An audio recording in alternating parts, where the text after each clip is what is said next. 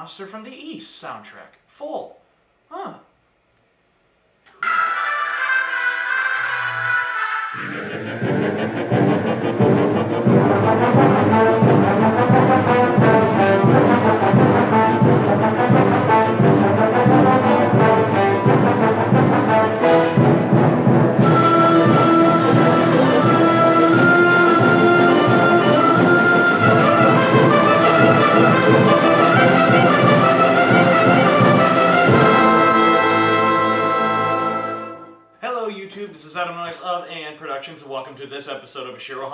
And today we're going to be taking a look at the one, the only, ow, the one, the only, Varan the Unbelievable, one of only two movies to feature the beloved kaiju,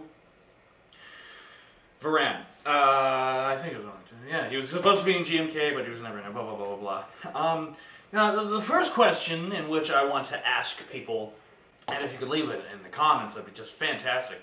Why do we love Varan so much? I mean, he's only been, as I said, in, in two movies, so, so why do we like him so much? Why, why is there such like a devout, it's almost like a religion of, of devout Varan followers who are like, oh, I love Varan, he's like the greatest monster ever. I never understood that, nor did I get it. Because he's only been in two movies. Is it because he was supposed to be in more films than just that? I mean, and, and is in two movies, right? He was in like literally about five seconds of footage in Destroy All Monsters. I mean, sure, he's got his own movie here, but why, why do we love him so much? I, actually would, would absolutely love it if you guys would just leave in the comments why you love Varan so much. Because there, there is like, a, as I said, like a, an absolute devout following towards this kaiju that I never understood, and I want to understand this Varan has an interesting like background in terms of its production. This is originally going to be like a, a TV production. Uh, and that was done with, I think it was like AB TV, but it turned into ABC. So basically, ABC Television wanted to make a movie with Toho because they saw some of the work that Toho had done and were impressed by their use of visual effects. And so they wanted to make a, t- a, t- a two-part, four TV miniseries. Um, and this is what it, it, what they did. This is what Toho came up with, uh, which is a very much so like a generic giant monster movie. But we'll get into that a little later. Um, and ABC Television, at the last second, after Eiji Tsuburaya shot all these special effects scenes, after Shiro Honda shot all this footage, after Shinichi Sekizawa penned out the script. At the last second, ABC Television, for some reason, I don't really know, maybe for financial reasons, maybe because they just weren't impressed with the footage, which I don't understand why, the special effects in this movie are fucking phenomenal. But ABC Television pulled out. And so, oh my god, Toho was left with an incomplete film. They had a music score for it, they had the effects, and the basic story outline. They had that all completed. And so they're left with this, like, unfinished film, right? And, and Toho, Tomoyuki Tanaka specifically, was like, well, we have all this footage, why don't we just make uh, a giant monster movie? I mean, they're still very popular at this time. So in comes the one and the only Ishiro Honda. And Shinichi Sekizawa come in. Shinichi Sekizawa, who wrote the screenplay for this movie, thank God. You know, this movie is a very great docudrama. Uh, but it also has its light moments as well. It's very, it's actually, if you look at it, uh, one of Shinichi Sekizawa's. To me, this is an example of Shinichi Sekizawa done right. Shinichi Sekizawa's script for this is actually pretty decent, and I know in the past I've said many times that I don't, I think this movie is boring. In this recent viewing, I, I actually really enjoyed watching the film. It was actually a, a, lot of fun to sit through. This is a great docudrama. But anyways, in comes him to pen out more scenes to kind of make this into a feature-length film. And in comes Shiro to shoot more scenes. And so basically these two came together after working on The Mysterians and kind of filled in the blanks. The original television series, uh, the, it has been restored and put on the DVD, uh, the, the out-of-print DVD that I do have. And first off, it's unfortunate that they couldn't restore the original aspect ratio of it, but we'll get into that a little later. Um, but what the difference is between the television version and which the television version with both episodes combined is a little under an hour, while the movie itself, the film version, is an hour and I want to say 28 minutes. It's almost an hour and a half. What they did was they added in a creepy introduction to Varan, the whole subplot with them, with these characters going into the mountains for the butterfly. That was all filled out a little more and fleshed out a little more. They also added in a bunch of new footage uh, with the battle at sea. They actually made it a battle instead of a montage as in the television version. And they also, um, the village destruction scene, because of this being padded out, is a lot later in the tele in the in the film version. In the television version, Varan comes out, kills those people, right? Kills those people who are looking for this butterfly, and then immediately rampages through the uh, rampages through the town, and in comes the military and everything like that. No, in the movie, there's a much more of a build-up with Varan. You have these two people that are going to explore these butterflies and stuff like that and they get killed mysteriously. We don't really see what killed them, but we know it's a giant monster. So in comes, you know, these scientists and stuff like that trying to figure out what's going on, and they discover Varan.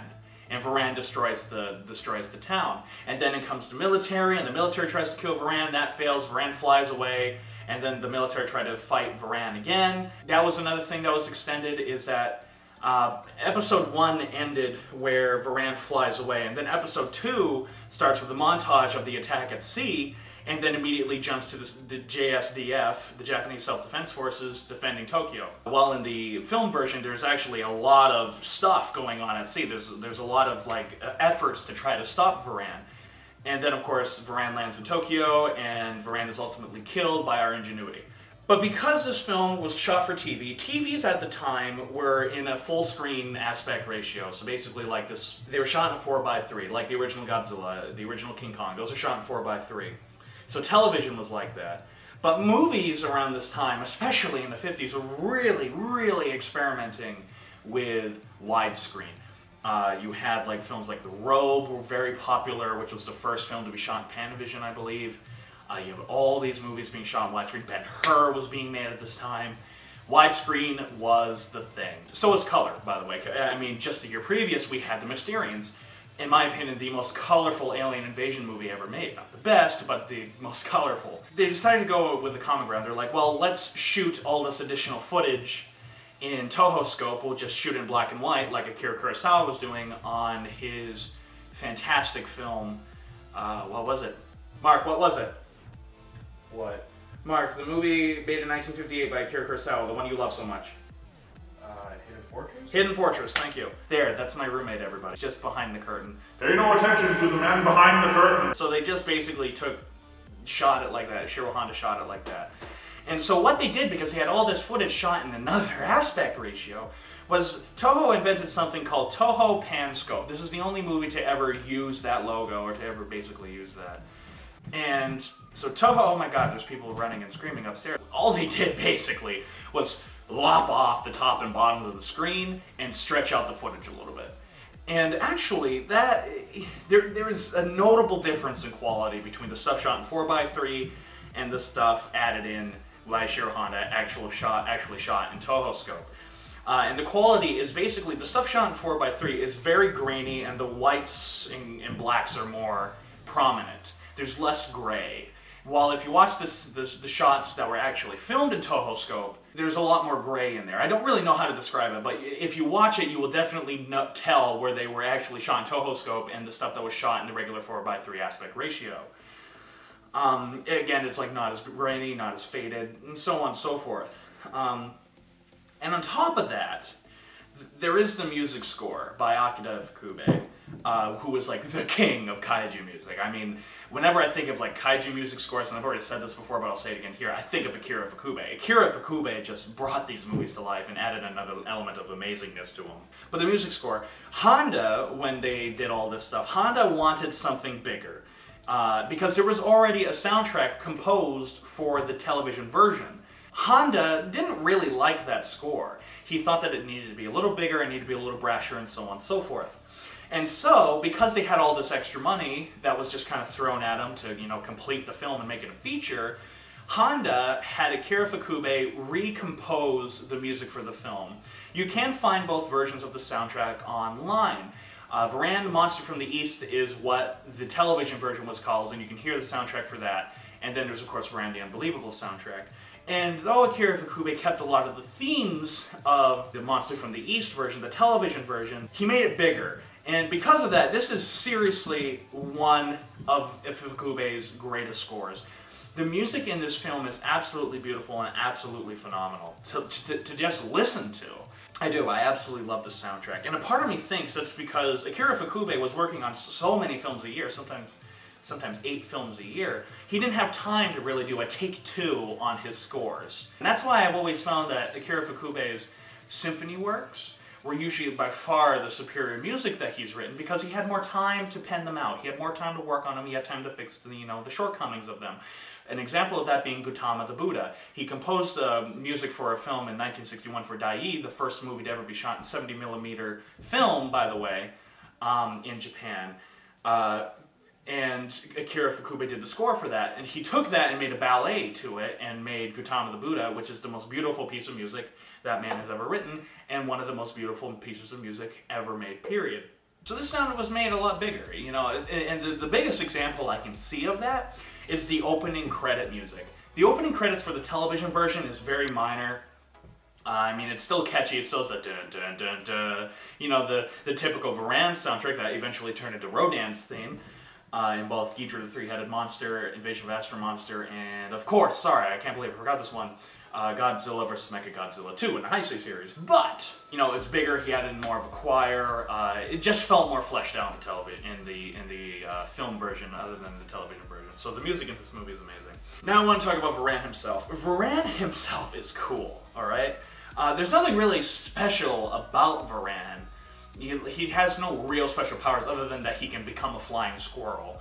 Um, and I love this design. In fact, my friend Jim, who is my new DP for Which Way They Walk, uh, was looking at the DVD title case, right, while we're getting ready to shoot.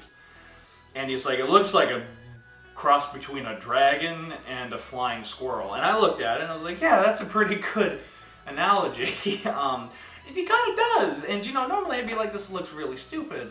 You think that that kind of analogy would be really stupid. No, Varan's design is really, it was really cool. If, if, you just look at it, and it moves so well, and it looks so cool. You know, and, and something that I think that makes Varan stand out from other kaijus and stuff like that are his spikes. His spikes are, are very cylindrical. They're just cool to look at.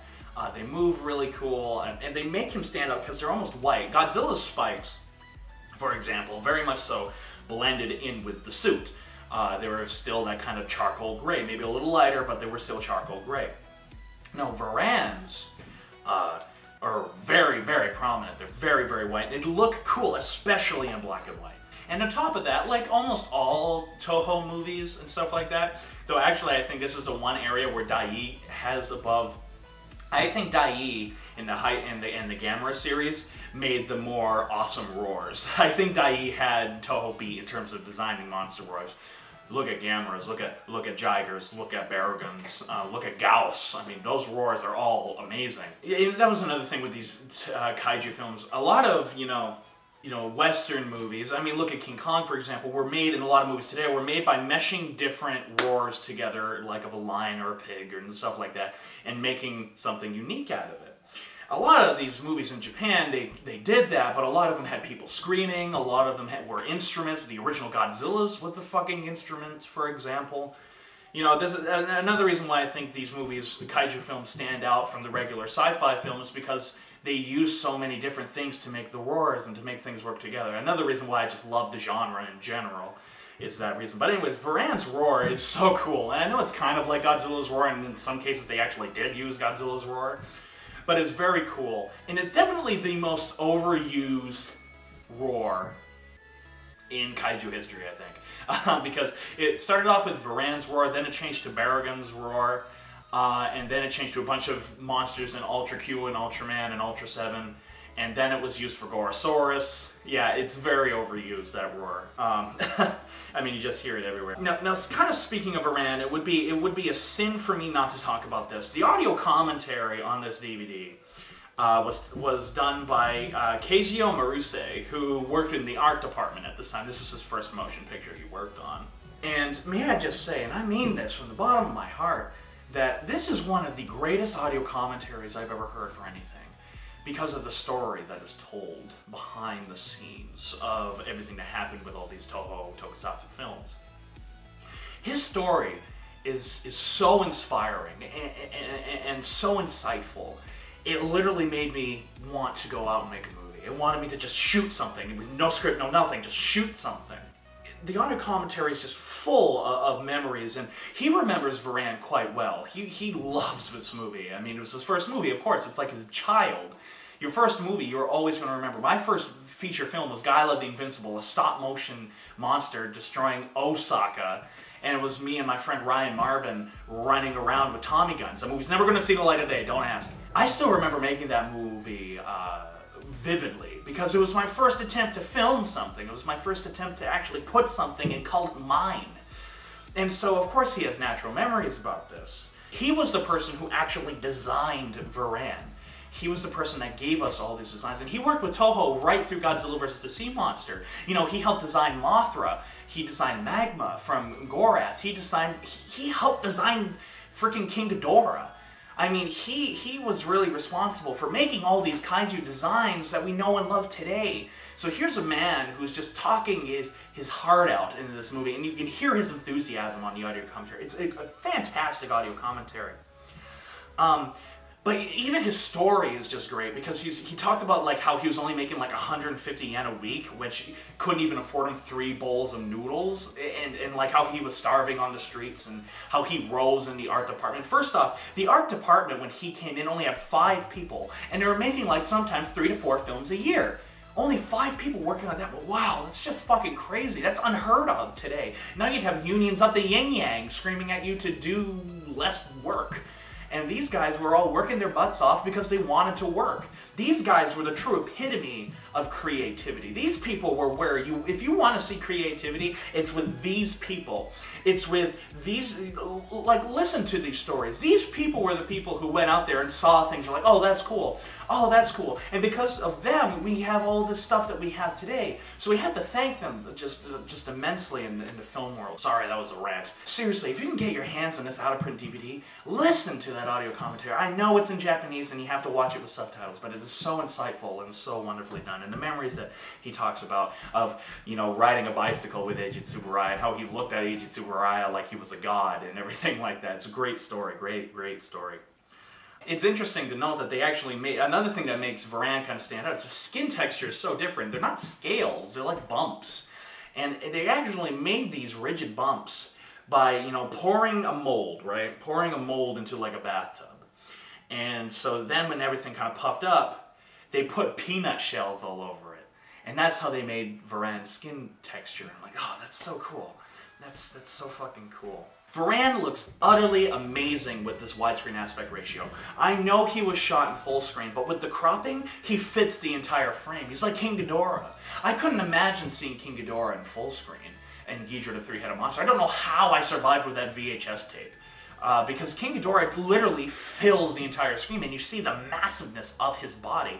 Varan is the same way. His tail is so long, his body is so massive he just fits the frame, and it works so well in the widescreen aspect ratio. The one complaint I have with Varan is that I could do without him flying. I could do without him flying. It looks so terrible. It looks it looks so awful. That was the one decision in the American cut of the film that I agreed with, is that they cut out the scenes of Varan flying. Because it looks utterly ridiculous. How can Varan, such, like, first off, the scenes where he's walking around and stuff, you don't see that webbing, and suddenly his webbing is there, and he just, like, jumps, and all of a sudden, look, he's flying like a bird. It looks ridiculous and actually very, very laughable. But the, the, American version was released in 1961. They basically Godzilla King of the Monstered it. And they shot a bunch of footage with American actor and then inserted it into the film, and it's awful. It's, I don't even know why they call it um, Varan the Unbelievable because freaking they don't even call him Varan in the movie. They call him like Obaki or something like that. It's fucking ridiculous. And it's a stupid movie. They cut out Akira Ifukube's music score and replaced it with the stock music crap and they cut out Varan's roar. So I'm like, oh my god, there's two out of three things, and I'm like, oh, this is really good, and then it's gone. It's just an awful movie, and it's just barely over an hour. They cut so much out of it and just rearranged the plot. It's just awful. Oh my god. Ugh. Oh my god, I can't do it with the mask. The overall plot is very generic. Um, you know, it, it reminds me of like the old Ray Harryhausen films. You know, like, it came from beneath the sea, 20 million miles to Earth, even though 20 million miles to Earth is an amazing film. But it reminds me of those films because of how simple the plot is and how it's just about the monster. Uh, which isn't an insult, don't get me wrong. That, that isn't an insult towards the film, really. I just wanted to state that. Um, and it, it, there are a lot of films out there that are about giant monsters or uh, something like this that have kind of the same basic plot structure as this film. So the, the, the plot in this film isn't really anything overly great. Um, nor was it really meant to be. This is what I'd like to call a mockudrama or a docudrama. And you know how much I love those. I, I praised I praised films like The Andromeda Strain directed by Robert Wise and as well as films such as The Longest Day. Those are like docudramas uh, to the T. And this is kind of a docu a docu drama. Uh, and I just want to say, overall with the film, I find the second half of the movie, where the military attacks Varan for the first time to when he lands in Tokyo, to be the better part of the film. Uh, the much more enjoyable part of the film because it's literally nothing but action. I mean, there, there is rarely a moment in the second the second half of this film where there isn't something happening or something or something to do with the monster, and I like that. Um, well, the first half, it's actually kind of slow. The first half is, uh, it's got a good build up to Varan, don't get me wrong, but it's just generic. And so you already know, oh, you're, and the monster's gonna come out, oh, look at that. Oh, look, there's the inciting moment. Oh, it's very generic, so you already know what's gonna happen. But when all of a sudden the monster attacks the town and then the military comes in, it's just shit happening one after the other. I love it. I do. Um, I, I do, I, I fucking love how, how fast paced it kind of gets after that. I mean, there's a lot of shit that happens. You know, the, and the Japanese army does a lot to fucking try to stop Varan. I mean, they try gassing him to death, they try blowing him up, they, they do a lot, and they throw like everything they've got into this monster to try to stop him. And I'm like, oh, that's so cool. uh, and I love the montage stuff that goes on with like the stuff out at sea and so on and so forth, of them death charging him and them trying to kill him with the jets. Uh, great wire work, by the way. And I love that. I love that kind of stuff. I love that. You don't need characters. Just, just show it moving as it would progress in actual reality. Um, just have like all this techno babble going on, or having these people talk about the military strategy. That's the entire second half of the film, and I love that shit. So I, I kind of dug it. um, the very beginning of the movie, it kind of it kind of opens like uh, uh, it opens actually identically to fucking Space Amoeba, um, except less impressive. this movie opens with a rocket being shot into space and the narrator saying, we don't even know the mysteries of Earth, blah, blah, blah, so why are we going into space, blah, blah, blah, blah, blah. And I could have done without that. I'm like, can't you just go into the movie, please? I could have done without the narrator as well. There's a narrator that pops up three times in the film. Once at the very beginning of the movie when the rocket's taken off, once when Varan takes off, and then finally at the very end of the film.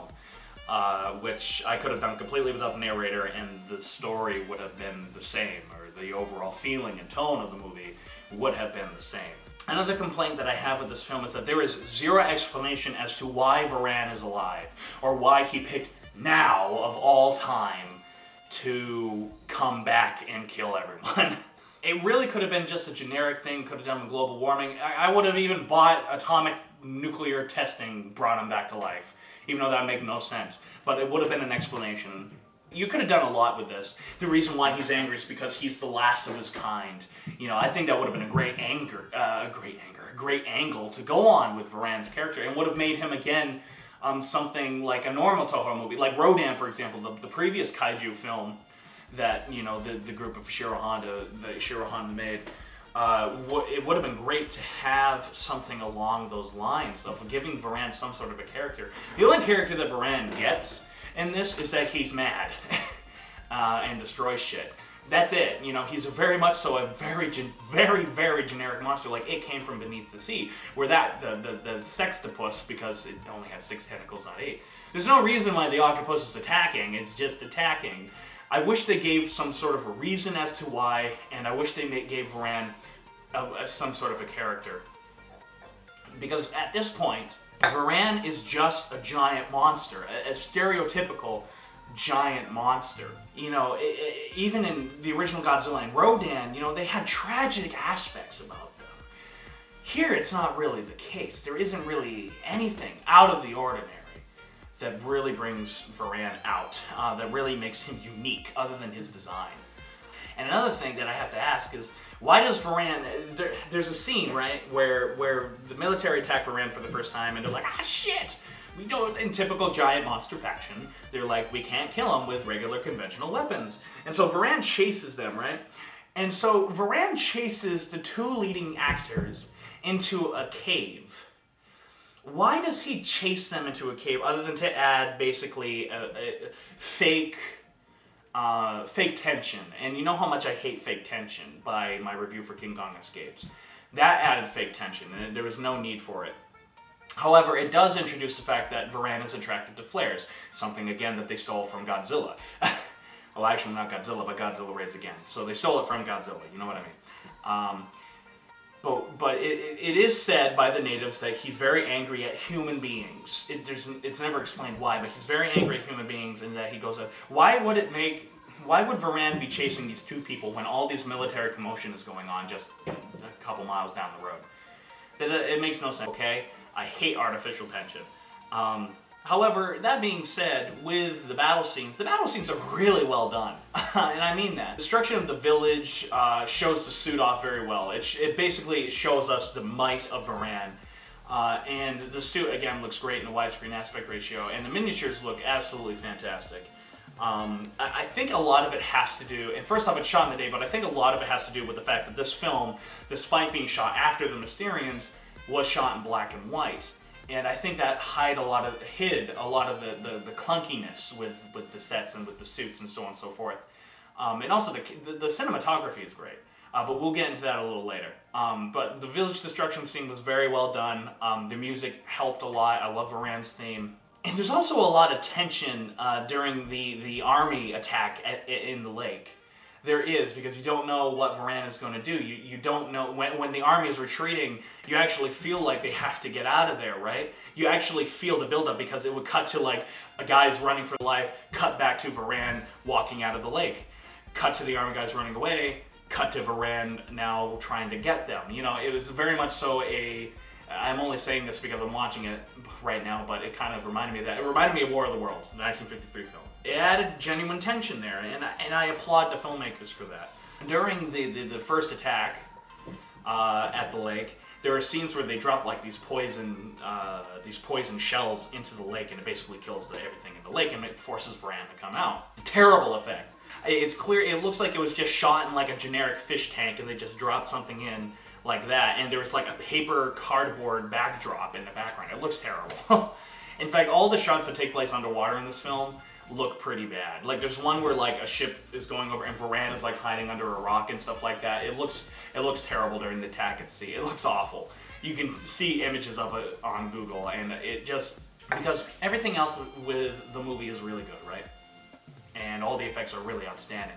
And then all of a sudden there's that, you know, it's just there's something so good here, right? There's something really good. It's like it's like you're watching Citizen Kane, and throughout Citizen Kane, it's intercut with Plan 9 from Outer Space. I mean, sure, it's not, it's nowhere near as dramatic as that, but that's kind of the feeling that it gets. It makes it stand out like really bad. The sea battles are very, very energetic. There's, and it helps. Akira Ifukube's music helps a lot, and the way how it's edited is great. But you have a lot of mixture of great mixture of actual stock footage of the Navy doing shit and uh, miniature ships firing and Varan himself getting hit and shot at. There's lots of energy. Normally in shot and stuff like that, I mean, this kind of had a problem in the Mysterians where shots kind of linger a little too long. No, that wasn't the case here. It was very well paced and very well put together. Um, and then, of course, the, fin the final attack was full of stock footage from Godzilla and Godzilla Raids Again. It's very blatant. Uh, if you've seen the movies enough like I have, you can definitely tell which shots are stock footage. But yet, it's also intercut with a lot of new stuff. Uh, so I guess that's alright. I mean, it kind of does stick out and stuff like that. But it's still done pretty well overall. Um, my only complaint is that Varan doesn't really do much. Um, he just basically lands by this airport, destroys the airport tower, and then is killed. Uh, that is really it. He's he's killed by, um, you know, there is this dynamite, right? That's like 20 times more powerful than an actual regular stick of dynamite. And they're like, let's use it on Varan. And so they use it on Varan uh, one time, thinking it's going to kill him. It explodes under his private parts, and you know, basically just gives Varan blue balls. First off, that explosion was real. It actually went off. Uh, uh, Haruo Nakajima played Varan in this film. It actually went off underneath his nuts, and got, he got burned really bad and hurt really bad. And so when you see Varan fall over and just stumble, that was actually Haruo Nakajima in immense pain. so my tip, my hat to you, good sir. Um, even though he's never gonna watch this. and he doesn't even speak English, so why the fuck? So actually, it's a cool idea. I, I, I do like this. Some of Honda comes out here where he's like the power of human ingenuity. Um, it, it's in a lot of Ishiro Honda films, especially ones kind of of a light-hearted nature like this, where it's not too dark, but yet it's not too light. On this, um, Honda, or they have the idea that they're basically make Varan eat the flare and have it blow up within him, which is gruesome as all hell. And so it works, and that's how they kill Varan. Um, I have to say this. The, the head scientist, he's like an old windbag who was a terrible comb over in this film. He's played by Koreya Senda. I hate him. He is like my least favorite actor ever, like worse than Tommy Wiseau, because at least Tommy Wiseau so I laugh at. Koreya Senda has no fucking emotions in his voice at all. It, it's so it's so bland, and he's also in Battle in Outer Space, and he's a big pro. I have a big problem with him there too. He's he's just a bad actor, and he sticks out from everyone else because it looks like he doesn't give a shit. And I don't know if that's just because of him or if that's why how Ishiro Honda directed him, but he does the same thing in Battle in Outer Space, so I think it's more him than anything else. But his backstory is sad. Uh, not not his character, but Koreya Senda's backstory is sad. His whole backstory of how he was beat up a lot when he was a kid because he was half Korean, and the Japanese and Koreans never had a great relationship. Um, he was picked on a lot, and he was abused a lot. Blah blah blah. His his story is actually very sad. You learned a bit about his backstory in the audio commentary on the DVD for Battle in Outer Space. But it is interesting to note that the leads in this film are not played by Honda's normal crew, like Kenji Sahara, Akihiko Hirata, and all them sort of people. Uh, they're not really present here, and I think that's because these were second-rate actors. And I don't mean that in a negative is. I, I, am saying that uh, as in this was a, a lower budget movie, and so they they grabbed second rate actors or up and coming actors. And that's why we don't see the normal crew. We do have some some cameos of these of his of honda's normal crew. Takarada is the the guy who makes the dynamite that blows up. Um uh tsuchiya uh, who plays shindo mr shindo um, he plays an army officer in this film um, and the guy who plays Kumayama from Mothra vs. Godzilla, the, the evil guy who blows the smoke in the picture and says that picture ought to be excellent, um, he plays a fleet captain in this film. You know, you have a bunch of stuff like that. However, the lead actor in this film, I don't know what his name is. His name is Kenji in the film, but the actor's name has escaped me at this point. He's a generic scientist uh, who uh, forms a friendship with the, the leading actress, who is a photographer. So, of course, it's kind of like a generic romance. But what makes this kind of stand up is that they don't, like, an American film would have harped on this romance, right? Here, it's not really a love story. It's more of a friendship that forms between the two. And it's played decently well. It's played decently well off. Um, like like during the attack when when the military retreats from the lake, uh, she gets stuck underneath a tree and and uh, Kenji runs back to the army base, the makeshift army base, and is like, "Has she come back?" And they're like, "No." He immediately goes running back in the woods, and he looks genuinely worried. So at least it's well played, you know. It, it is a friendship, um, and she's not a ditz, or she's not a damsel in distress, because during the final attack of the scene, Kenji, uh, when Varan is dying, they run towards the shore. All the characters are running towards the shore, and there's this great tracking shot where. Uh, you see Kenji and and this photographer running next to each other. He's like, shouldn't you stay back? It's going to be dangerous. She's like, and because she's a photographer, she's like, and miss an opportunity like this? I don't think so. You know, she's not the strongest female character at all. She has little to no character at all. But at least she's not a typical damsel in distress that would be in like a Hollywood science fiction movie at this time. You know, this is another reason why I love Ishiro Honda. Ishiro Honda often gave his female characters an actual character or actual, you know, backbone. Kind of an asshole as well, Kenji. He's kind of an asshole because when they arrive after the, you know, the two scientists before that get killed at the beginning of the movie and set forth everything else with the film, he arrives and just shits all over the natives' beliefs in Baradagi, which is their name for Varan, which they think he's a god. He just shits all over him. He's like, you guys are stupid. Why the fuck would you believe in this horseshit? And he's also the reason why the town gets fucking destroyed because he convinces them all way too quickly for my liking, by the way, to go and search for. What happens is that like this boy escapes, right, and is runs off to the lake, and they're like, oh no. And so he convinces them all to go after him while the priest is like, no, you can't do that because you'll anger Baradagi. Sure enough, Varan comes out and fucking destroys everything. He's the reason why it fucking happens. So you kind of dick good going. Um, you're the reason why Varan is evil. Everyone else in the film is just there to progress the plot, and that's it. Um, which is fine for me because this is very much so like a docudrama. um, you know, it it, it, made it, it makes it a fun docudrama um, because the movie itself, especially when Varan and the army start dealing with each other, it moves very well. It's very quick and so on and so forth. And I've already I've already said that. um, uh, and you know, as I've already stated, the military stuff is utterly amazing. You didn't need any three-dimensional characters after that because it's all about we've got to kill Varan, and I like that stuff. I like the techno, I like the techno babble that goes on. I like the the whole strategy that that's formed to, to, to how do we kill Varan. I say I love that stuff, so I, I, I dug into it. This film also has like phenomenal cinematography, and I, I genuinely mean that. The cinematography for this film is phenomenal though the, the, the camera itself does the typical Honda push in, pull out, and stuff like that. Uh, though the camera is often very still in this film, there's stuff moving around in the shots, especially during the second half of the film. There's always stuff happening on screen that keeps your eye glued to the screen. I try to do that in my films. In Which Way They Walk, the shots are very still a lot. And so what I wanted was I want like somebody moving in the background, some smoke in the in the foreground, and so on and so forth. Just things to keep the screen moving without actually moving the camera. Uh, and art that's lost in today's cinema. cough, cough, Peter Jackson. Uh, just kidding, Peter Jackson. I love you. It, that, it's that kind of stuff that makes the cinematography in this film very, very interesting, and a lot of that has to do with you know the scenes where they're discussing the plan to kill Varan or the plan to, you know, keep him away from Tokyo. There's always shit moving around when it's just characters sitting down and talking. There's always army guys moving around in the background. It keeps your eyes glued to the screen, and that's that's good cinematography. So, like in the end, this isn't this isn't exactly an original movie. It's very generic, um, but it, at the same time, it's a lot of fun. It's a, it's a fun docudrama, um, and I, I do recommend it. Um, if you want to know the standard, typical 50s science fiction monster movie, this is one of the better movies you could go to.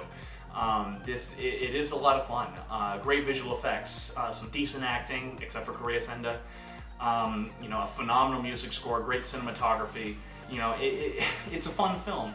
And I was going to give this film two and a half out of four stars, but this viewing I enjoyed it a lot more than I thought I was going to. So I'm going to give this film three out of four. Um, nothing to be ashamed of there. Uh, it is a fun movie and do check it out, um, especially if you're an Ishiro Honda enthusiast. Uh, so go on Facebook, uh, like my new movie Which Way They Walk. More stuff is to come out soon. Uh, like AN Productions on Facebook, uh, like the Godzilla Saga on Facebook, and if you wish, join my new group uh, called Geeks for Geeks, where you can be who you were born to be. um, just we welcome all fandoms, all sorts of discussions. And also it's a place where you can promote yourself to other geeks. If you have a video or a product to, to promote, that would be a place to do it. It's a great place for networking. We have some of the craziest conversations ever on that group. It's fantastic. Um, but yeah, so subscribe, hit the subscribe button, like it up, leave a comment telling me about your thoughts of this film. I love discussions. Uh, and this is Adam Noyce from Adam Noyce saying, Sayonara.